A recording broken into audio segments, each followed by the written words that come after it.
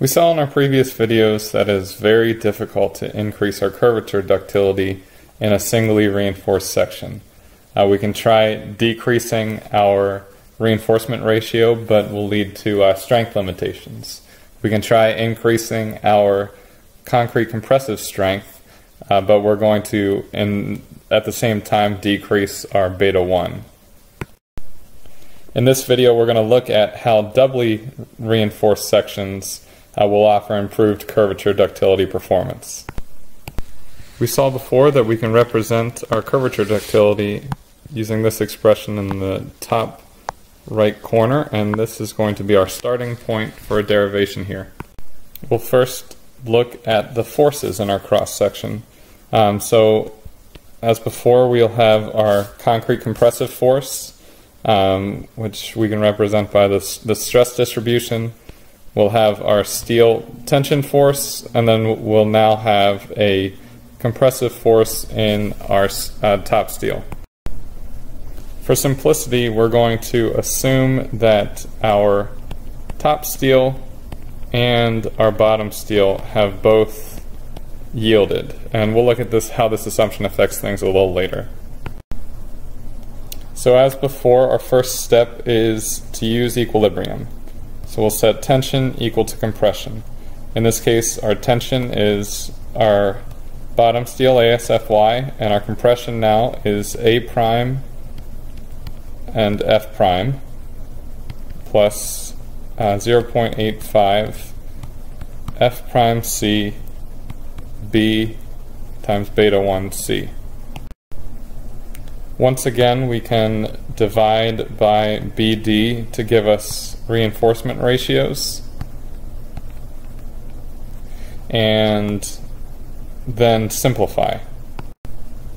We can then solve for C and we'll get our C equal to rho minus rho prime times Fyd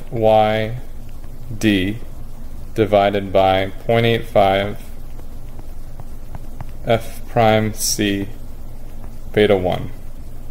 So this is our now our C value.